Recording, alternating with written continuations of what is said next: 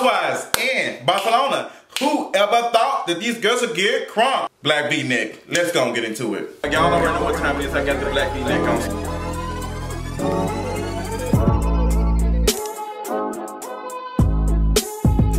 Real Housewives Atlanta season 10 episode, I don't know, but one thing I do know is that I have a black v-neck on, and we are in Barcelona, Spain, or wherever we are this week. And when I tell y'all, this is one of the most um, best episodes of Real Housewives of Atlanta this season. Um, good, y'all finally woke us up. But there was a lot of things to talk about, so many conversations. That's why I felt like I was about to rule the nation in Wakanda, in my black v-neck, because there was a lot of things I was not here for, and some things that we got to address, honey. So you already know what time it is. You already heard the intro. Put your headphones on, and let's get to the motherfucking T, bitch. First thing first, let's talk about Sheree Home. Whitfield, okay? Sheree Whitfield, girl, how you complaining about not having a bed and the bed is too small and this room is too small when we know, we know that your ass don't have nowhere to stay, girl. You have been building on this house as long as Lego blocks have been available, girl. You've been building on this house. This house, girl, you need to be singing this shit with Brandy, okay? Paint this house with brown water because that's what your house built like. And considering that you built it with brown water, why the hell you complaining? Y'all were complaining way too much about about what this villa looks like, and I was just like, okay, if it was that trash, that da da da, y'all on here for a week. But y'all did that, y'all made a scene or whatever. So the ladies head to brunch and they're having a tea session, whatever, and all the ladies sitting down except Nene. I think Nene was in there making calls trying to find another villain, which was smart and a good decision. So while they're talking, the conversation comes up about what Kim did and the video and how that was, and people were like, well, I don't know how to feel about that, that was wrong. Kim was trash. Let's just go and start from the beginning. Kim was garbage as fuck. She should have never sent that video to anybody. She should have never done that. And her fucking cockatoo looking ass daughter should have have never, her daughter should have never got down on, got her eagle on and recorded anything. I don't believe that Brielle was taking a picture. I believe she was trying to find some shit. She found them damn water bugs and the crickets or whatever it is. And she took a picture of it. She took a video of it and she saved it. You don't save stuff like that for mad day. Say, girl, I don't trust people like that. But you know what, Nene, this is what you get for tugging on her wig, but not snatching it off. You tugged on her wig, but then you were helping her secure her wig. Y'all know Kim ain't shit. Y'all know Kim. Kim has continuously proved that she ain't shit, okay? She has changed her face more than she's changed her draws. So why y'all surprised? Let's talk about Marlo. Girl, you would have thought that Marlo was one of James' aunt off of James and the Giant Peach. Girl, she was so thirsty for a peach. Thirsty as hell for a peach. She was doing any and everything to secure a peach. And girl, here's the ultimate shade and here's the ultimate gag. As long as Real Housewives Atlanta has been running, you have never made it to Andy's Clubhouse, girl. Mouse Never let you in the clubhouse ever. He's never let you sit in there on the Iron Throne and tell your shit. Girl, not only until you did this situation is until you got a seat at the damn table. And it wasn't even a girl. It was a kiddie seat because you still don't have a damn peach. And even that, I'm gonna get to your ass a little bit later. We're gonna save you and your wig for later, okay? Shamea ends up apologizing to Eva about asking the question about what, who she's sleeping with. Is she a bisexual woman? How, what does she identify as? And Eva said, you know what? I didn't want to answer that question. I'm not feeling comfortable because my husband is running for mayor. Now, Eva girl, let me go give you a one, two, three piece two from Popeyes on a five dollar box real quick. Not no church's chicken type chicken. We don't eat fried flour. But Eva, you bring absolutely nothing to Real Housewives Atlanta season 10. I like you. I think you're cute. I think you're talented. I think you're, um, you know, you're funny in a confessional. But as far as like maneuvering with the ladies, you can't keep up, girls. What we really should have done is cut Eva ass to save on the budget for the villa, okay? Maybe we would have had a better place to stay if we would have cut Eva out of the budget because Eva didn't bring shit. She brings cute little shade in her big hair, but that's it, girl. She give me Farrah Fawcett, and I don't want no damn water coming out the faucet, bitch. I want filter water. And Eva's not giving me that. She's not giving me filter water. She's not giving me tap. She's giving me the shit out of the fountain, girl. I'm not sure who mouth been on there. Eva, I'm just, you're boring as hell on the show, girl. This is Real Housewives of Atlanta. We talk about sex, everything. This is the conversations that we have, and you didn't feel comfortable talking about that, girl. Did you not do your research? Did you not try to figure out what was going on? You thought you was just gonna be cute and twirl around and that was gonna be it? Kenya tried this shit and she ain't even here, see? But Shamea, I'm glad you apologized because you and Marlo are fighting over the peach like y'all ass is finna fucking get some magic seeds out there, ho damn. So let's head out to lunch. They're going to tour the city. Uh, Porsha, your ass don't know how to drive, girl. Why we have to drive? Porsha's running into shit, talking about some, well, you know, I didn't know where I was going. Porsha driving all over places. She run over shit. Porsha, this how I feel, girl. You ain't no grown woman yet because every grown woman knows that she's supposed to have some sandals and some shit in her purse anytime she walk around with some damn heels on, girl. You know you can't do that shit, girl. You know you are a journalist and you used to sitting at the desk and talking to the mic, honey, doing some acting gigs.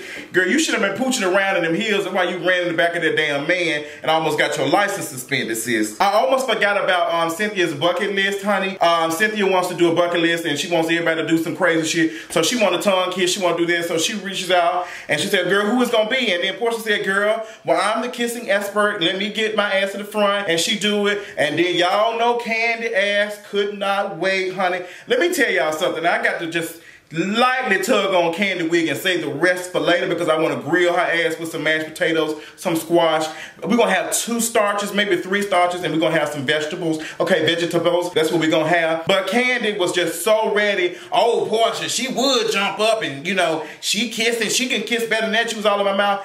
Kandi gives me the um, the energy of a man who's been rejected at the club or something. Like, I've been dancing on you all night and I'm not interested in taking your ass home. For women, okay? Kandi gives me the energy of a woman walking down the street doing whatever and catcalling and, and a woman like, girl, can I just get to work? Can I do this? Oh, bitch, you got a funk ass attitude. You need to smile on your face. Damn. Da, da. Kandi gives me that. She don't know how to do re rejection. The shit is over with. Why you pressed about it, you didn't do it. Y'all ain't doing it. Kandi, find your damn space, enter your password, and log the fuck fuck off because we're tired of hearing about this shit. And I don't give a damn how y'all feel about it. So all the ladies ordering lunch. Um, Porsha ordering octopussy. Y'all know she like pussy. Um, Marlo ordering old white men penis and shit. Um, Kandi ordering goddamn vagina with a side of eggplant on the side. Nene ordering fucking pig nose and pig toes. Um, Cynthia ordering a man and she ain't got one. Uh, I don't know what everybody else. So they're ordering food. Everybody's eating, you know, talking shit, drinking. They having a good time. They talking. And the conversation once again comes up about Kim.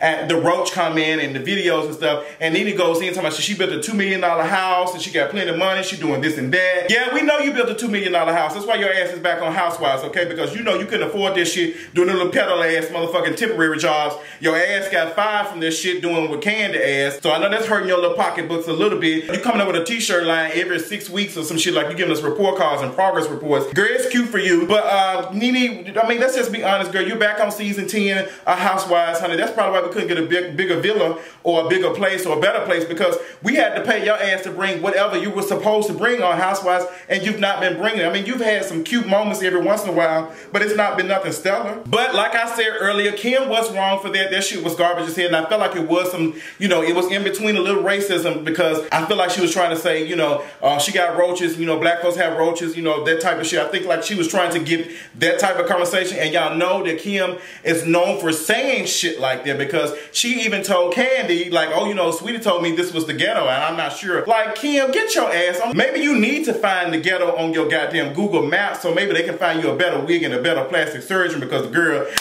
that shit is a rap. Cut. I holler when Nene says Sheree Wigfield.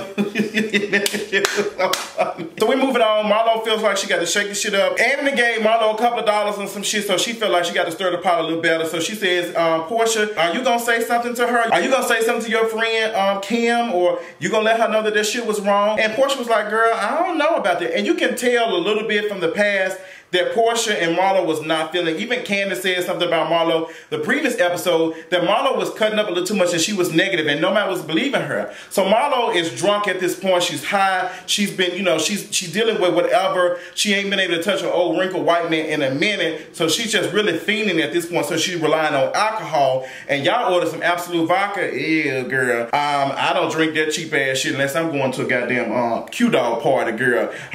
Okay, where M'Baku tribe bed? But bitch, no ma'am. So she asking uh, Porsha, and Porsha's like, girl, I don't want to talk about that. You can tell that Porsha was uncomfortable. Right then and there, Porsha, you should have been a grown woman said, you know what, this energy is not like right for me. Let me move on. Porsha, I'm gonna have to give you a piece because I would have recognized, I say, girl, let me just move home because Marlo is acting up and she trying to get something out of me. But Porsha, you remain seated there and you know that energy was bad. You know it was. That's why you kept doing that because she was in your space. You should have moved, okay? Now you know that eyes are on you and you are the damn sparrow. So every time you move, they hear caw So you got to get out of these spaces like this shit, um, Porsha. And, and I feel bad for you. I feel for you. Marlo was going on a tangent. She was shooting off, and then you were doing stuff. Now, I saw Marlo, you point your hand in Porsha's face and say some shit. You did that. Now, uh, Porsha, your ass put that damn fan in her face and did whatever. But um, it only takes one person to say, I don't want this shit in my face, and there you have it. They get into they tussle, and they, they, they well, it wasn't a tussle. It, they made it seem like it was a tussle,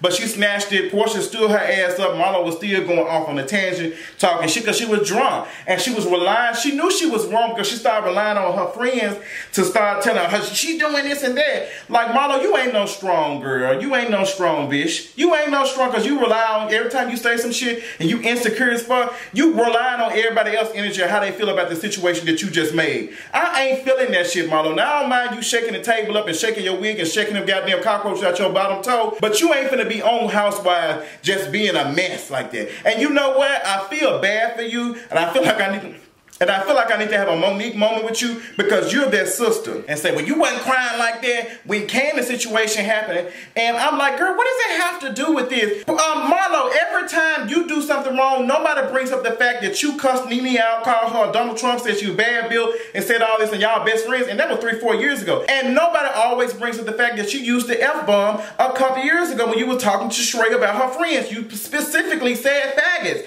So we ain't bringing your shit up, and I could bring your shit up because I still think you're that person.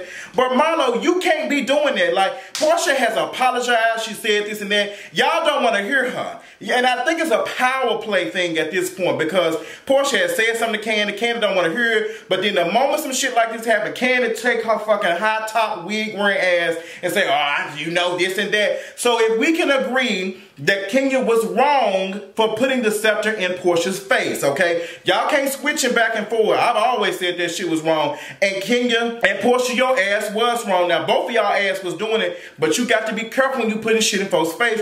And you know what? Marlo, you were provoking her. You did the same exact thing. Y'all all was garbage with the whole situation. I didn't understand it, and it was just way too much. And Nene, y'all saw that shit, and y'all did not want to stop it. Y'all just let Marlo carry on. Nobody checked her. And Marlo, how I know that the shit is bullshit because if the shit, if you really felt some type of way somebody need to dress Kim, you would have said something to her big sister, Sheree. Honestly, Marlo, if you really cared, you would have chin checked Sheree right into there. You would have said, Sheree, are you gonna say something? Because Sheree was the one that carried the bone to Kim and told her what happened. But Marlo, it's easy to jump on the person who is the weakest at the moment, and you did that. Marlo, you remind me of a hyena. Like you don't do the work, girl. You just eat dead carcasses and shit, okay? You can't do shit by yourself, so you got to have a group of people. And you know what? No, that's how you would, if you were to check somebody, you should have checked Sheree. You should have checked Sheree, but you did not do that. And it was easy to get on Porsha. Now, let me tell you the whole group of all y'all. Y'all honestly don't like Porsha. Let's just get that understood. I don't care if y'all say the black v-neck is a cape for Porsha, but I'm seeing and I'm tired of it. I understand why Kandi feels a certain type of way, and I'm not telling her to get over it. But if she ain't truly giving a fuck about this situation, she need to get the fuck off the goddamn show. If she that goddamn person that hurt her business on selling dildos and tired ass salmon patties at fucking old lady game, she need to move. She need to go on go and say, girl, I can't be a part of this shit no more. Or if you truly are the boss, let Porsha go. Tell them folks to let Porsha go off the show. But we know you don't have that type of power, okay? Kandi, you really don't have a sickening ass storyline to be honest. You only cute when you have your other family members. But Porsha weight looks good on her. Now her vegan storyline is garbage. I would say that the making vegan shit is garbage. But Marlo, I find it very funny and kind of hypocritical for you to say that she's had everything done. Have you not seen Nene's nose on season 10 of Real Housewives Atlanta season? Okay, have you not seen how much Nene has changed and made how she might have lightened up over the last couple years? Have you not seen the work that she has had done and how she looked different when she don't have makeup on? Like Marlo, how can you call her out? Like, have you not seen the whole cast of everybody on Real Housewives of Atlanta? Everybody has some work done. I think the only person who's probably not have some work done is Cynthia and Kandi, to be honest. But everybody else, do do do Girl, pull it up. Shamea did a good job trying to comfort her friend. I appreciate her for that. She said, girl, don't worry about this. This tight asshole ain't got shit, da da da. Move on about your business, honey. So, Nene, that was a time for you to check Marlo. You did. You just said, oh my gosh, a taxi. Like, it was just, it was way too much. Marlo S was drunk as hell. So they head back, and Porsha, you know, goes to talk to Nene, and she said, look, I just need to go. This energy is not right for me. I just got to leave. And I felt Porsha when she started crying. She said, you know what? I just, I can't do all this. And I understood where she was coming from because they've been picking at her every chance. I could not do it. I could not do it because th- that shit would bother me. I like every time y'all always fucking me. Every time I turn around, y'all ain't blessing me, but y'all only stressing me. Girl, I cannot do it. I cannot do it. But I'm gonna tell y'all, peep this shit, peep this shit, because Nene was interested in being Porsha's friend or her big sister again, because it's a power play for Nene. Nene liked the fact that Porsha came to her and bowed down to her and recognized that she is the bigger person, she is the bigger sister. So now Nene is interested in supporting her now. That's all it is. All y'all ass is full of shit. Y'all don't want nobody to feel like they're better than you or whatever. But y'all do this shit on every episode of Real Housewives of Atlanta. But that's the tea and that's the goddamn gag. So next episode of Real Housewives of Atlanta is going to be boring. Y'all already know that. Um, the conversation about Tyrone and Nene is popping up, and Nene is spilling her own tea. Cynthia is about to be baptized in a whole bath. Girl, don't don't tell me. I don't understand how to. I don't know how to do that. Sheree Wingfield is about to be called out about her friendship with Kim and what she gonna do to address this bullshit. Child, tell what y'all think about this episode of Real Housewives of Atlanta, honey. Let me know who y'all thought was wrong. I'm pretty sure y'all signed off already. Y'all probably don't agree with me with the Porsha situation, but I want y'all to be honest and look and see how they've been treating Porsha and how the shit is. I cannot be no person like Kandi and seeing shit going on instead of be petty like that. I just, I'm just, I'm not interested in. Tell what y'all think, and I'll talk to you, Dusty Host, later on tonight. Bye. Oh, I don't want fat, bitch. And I got a bankroll, hoe. Come on, bitch. Come on. That stale ass ponytail. How like I'm gonna get mad, bitch, cause you won't take my order. Come on, bitch! Come on, she a ghetto ass bitch! Paul, it ain't about no fast food. I worked at McDonald's eight years, bitch. Free chicken. Paul ain't about fast food. Small mouth ass hoe. Yeah, I knew you go. going. What I say? Push the button, police ass bitch. Dick sucking ass hoe. Dust sick, don't need to eat this shit. Well, my wife from behind the counter, bitch.